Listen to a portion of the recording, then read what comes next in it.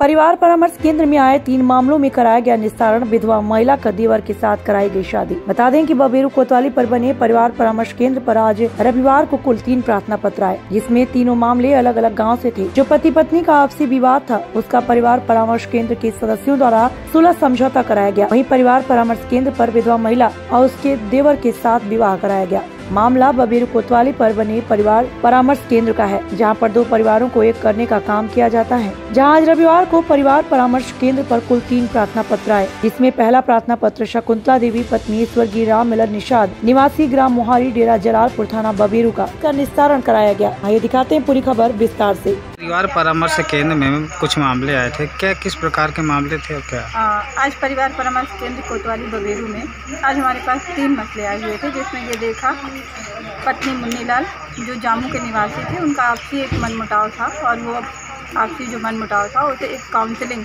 बेहतरीन काउंसलिंग के द्वारा उसे निपटाया गया।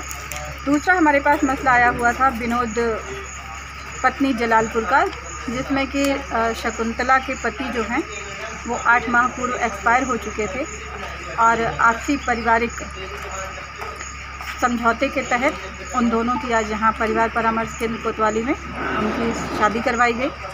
और तीसरा मसला हमारे पास ग्राम हरदौली से था। निदा पत्नी निज़ामुद्दीन, जो हरदौली के रहने वाले थे, उनमें भी ऐसी हल्की सी नोकझोंक थी, जिसे आपसी सुलह समझौते के द्वारा समझौता करवाएगा जिसमें कि आज परिवार परामर्श केंद्र की टीम में हमारी सुनीता भारती जी, प्रीति चित्रांत जी, सुधीर अब्रहरी जी और कम महिला कांस्टेबल सुप्रिया सिंह जी ने काफ़ी अच्छी मेहनत की और काफ़ी अच्छी काउंसिलिंग की। बांदा से जिला संवाददाता शिवलाल शर्मा की रिपोर्ट।